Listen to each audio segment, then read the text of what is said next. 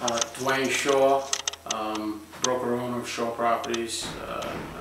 real estate uh, company and development. Um, What I observed today in the building department was, uh, and and again, two years ago, um, was that the building department's processes were uh, extensive,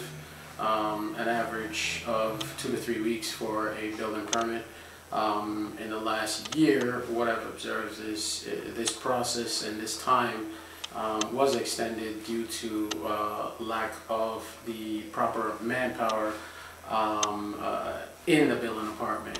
However, today I was enlightened um, on the fact that there is a system um, in play um, in which it would better uh, the community in interfacing with the building department um, with the expectations and hope to shorten the process of a a average uh, permit. Um, This is being done through iPads for the um, inspectors and for myself and people like myself, the interface of using uh, technology, apps, or computers from your desktop, um, from your convenience, and interfacing with the building department to process your permits um, and supporting documentation in order to not only limit time, uh, but also limit uh, paper, um, which would eventually um, reduce the costs, not only for the city, but also for the taxpayers and and people dealing with the city.